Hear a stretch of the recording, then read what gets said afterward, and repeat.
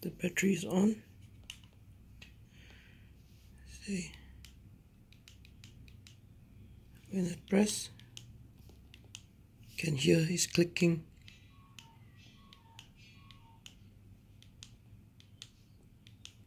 It's not working.